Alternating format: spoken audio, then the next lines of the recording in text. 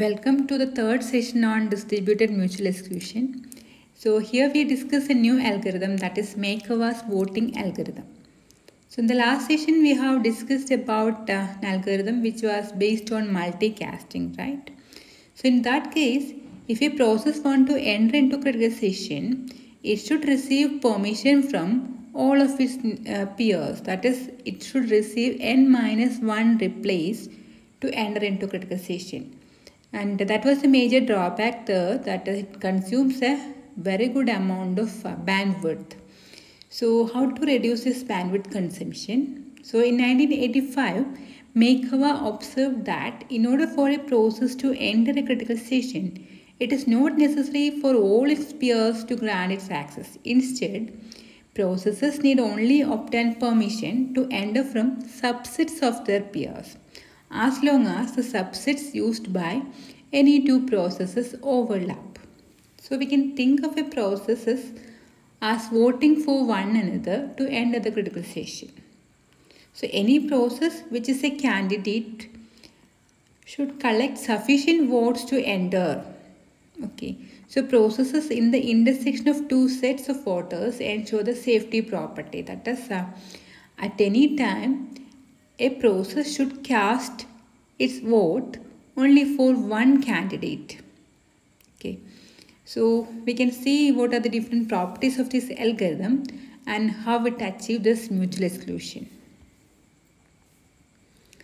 So Maekawa associate a voting set Vi with each process Pi where Vi will be a subset of the set of all processes. So the voting set Vi for a process Pi is chosen so that for all ij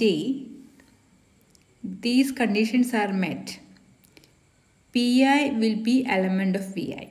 That means the process itself will be a member of its voting set. Then Vi intersection Vj no is not an empty set. That means if we take two different voting sets, that is if we take the voting sets of two different processes, there should be at least one common member of any two voting sets. And the length of this voting set is equal to k should be a fair number. Each process has a voting set of the same size. And all the voting sets will be of same size and we have to select a number that the length of the voting set should be a fair number. Okay, we can see later how the number will be selected. And also each process Pj is contained in M of the voting sets Vi. So each process should be member of M different voting sets. So these are the main conditions to be met in a Maekawa's voting algorithm. Now let us get into the algorithm so this is the initialization part. For every process, two variables are kept. One is called state and the another one is called voted. So state will be released initially for every process and voted will be false. Okay. Now a process Pi want to enter into critical session. What are the things to be done? So if a process Pi want to enter into critical session, it will first change its state into wanted okay then it should get permission from all the processes which are members of its voting set right? So vi is the voting set for this process pi so this process pi will multicast request to all processes in vi and it can enter into critical session only when all the members in this voting set are replayed so wait until Number of replies received is equal to k where k is the length of its voting set. So it it should receive replies from all the members of its voting set. Once it receives all these replies, it can now enter into critical session. So change the state into held. Once the state is changed into held, it can now enter into critical session. Now let us take the case of uh, a process which is a member of any voting set. So here where we are considering the process Pj which is a member of a the voting set of process Pi. So Pj receives a request from Pi. So what are the different steps to be followed? First it will check whether the state of itself is held. That is the Pj is already doing its critical station. Then definitely this uh, vote should not be casted for Pi, right? Or the second criteria is that voted is equal to true. That means the process Pj has already casted its vote for some other process. Then also it should not uh, cast its vote for Pi. So in these two conditions, this process will queue the request from Pi without replying immediately. Or else it don't have any problem in uh, granting permission for other process, right? So it will send a reply to PI. After sending a reply, that is after casting its vote to PI, it will change the voted value into true. This is each and every member of a voting set will do. Now the exit session. So for each process PI, when it finishes its execution in its critical session, the following code will be done. First it will change the value state into released and then it will inform all the processes in its voting set that it has finished the execution. For that it will multicast a release message to all the processes in its voting set VI. Now upon receiving a release message from PI, so all the members in the voting set of PI will receive a release message, right? And Say for example, Pj is a member of uh, the voting set Vi of Pi. So what Pj will do? It will check whether any pending request is there. Already some uh, request is uh, awaiting the reply.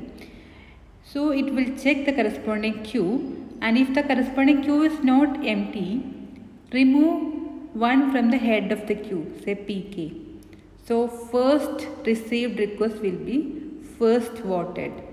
So we will remove the uh, process from the head of the queue and send a reply to process P key. After that, that is after casting vote to PK, change the state uh, or value of voted into true.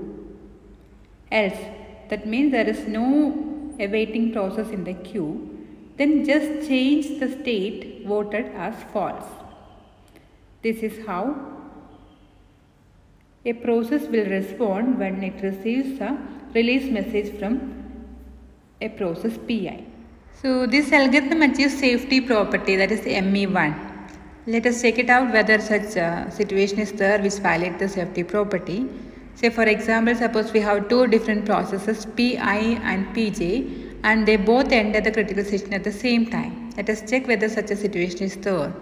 Okay. So we have the voting set Vi corresponding to Pi and voting set Vj corresponding to Pj and by definition of this algorithm Vi intersection Vj that is the when we try to intersect both these voting sets it should not be empty. By definition there should be some common processes when we take any two voting sets. So here also some common elements will be there.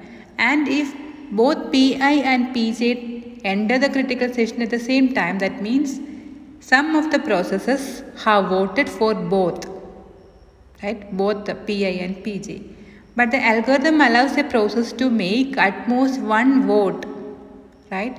That we saw in the algorithm. At, at most one vote can be casted by the process. So definitely this won't allow two different processes to enter the critical session at the same time. Unfortunately, this algorithm is deadlock prone. Just for example, we have three different processes P1, P2 and P3 and uh, voting sets for P1 is P1, P2, voting set for P2 that is V2 is P2, P3 and voting set for P3 that is V3 is equal to P1 and P3. Now let us go through a situation which creates a deadlock. Suppose all the three processes want to enter into critical session. All the three request for critical session. And uh, there can be a situation that P1 respond to itself and hold of P2. Like that P2 replies to itself and uh, hold of P3 and P3 replies to itself and hold of P1. So each process have received one out of two replies. So and uh, none can proceed, right? So this is a deadlock situation. This can be avoided by modifying the protocol used that uh, processes queue outstanding request in happen before order. That means a process can respond to a request only in the happen before order. In that case, uh, such a cycle will not be there. So we can uh, avoid such deadlock using the modified version of protocol based on this happen before order. For example, in our case, suppose uh, for uh, process P3, two requests are there from one from itself, that is one from P3 itself and one from P1, and it cannot uh, respond to P3 before P1 if P1 arrives first. Like that, such a protocol is applicable to all the processes. So we can avoid such deadlock situation here. Somehow one of the process can enter into criticalization. How to choose K? Where K is the number of elements in a voting set of any process. So to get an optimal solution, you have to minimize K at the same time which allows the process to achieve mutual exclusion. And the experimental results show that K can be chosen as square root of n, where n is the number of processes. So usually every process, the voting set will contain k different elements where k is square root of n. Now how to choose the voting set of any process? That is definitely a non-trivial uh, problem to calculate the optimal set Ri for any or Vi for any process.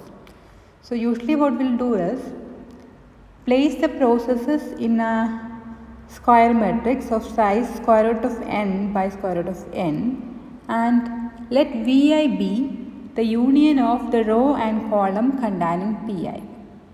So for every process using this matrix we can create the voting set by taking the appropriate row and column in which the corresponding process belongs. Now if we analyze the performance of this algorithm, the bandwidth utilization is 2 into square root of n messages per entry to the critical session. So for example, uh, if a process want to enter into critical session, it will request all the members of the voting set, right? So k messages, k is square root of n. So k messages for request and all these members should reply. So another k messages, another square root of n. So 2 times square root of n messages will be required for entry into critical session and after finishing the critical session, this process will send release message to all the members of the critical session. So again a square root of n messages. So totally 3k messages. So 3 into square root of n messages will be required for entry and exit together. So bandwidth utilization is 3 square root. Whereas the bandwidth utilization in case of uh, that Ricart and Agarwala's algorithm, it was 2 times n minus 1 messages. So this algorithm that is uh, Maekawa's algorithm is definitely better than this uh, Ricart and Agarwala's algorithm in terms of bandwidth utilization provided n is greater than 4. Now what about the client delay? So client delay is the time incurred by a process to enter into critical session, right? So here also it is a round trip time to enter into a request and a reply from different members, right? So a round trip time which is same as that of the previous algorithm, Ricart and Agarwal's algorithm. And what about the synchronization delay?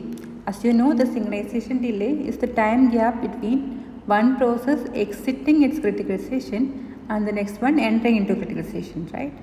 So here one process when finish its execution, it will send a release message to all the members in the voting set, right? And upon receiving this release message, the members in the voting set will check the queue and find out any pending requests that there and send a vote, cast a vote, right? So a round trip time will be there between one exiting and another one entering into critical session. Whereas it was just one message in the case of uh, Ricart and Agarwala's algorithm. So here it is worse. Anyway, this algorithm is better in terms of bandwidth utilization. So this is all about uh, different types of distributed mutual exclusion algorithms. In the next session we can see different election algorithms. Thank you.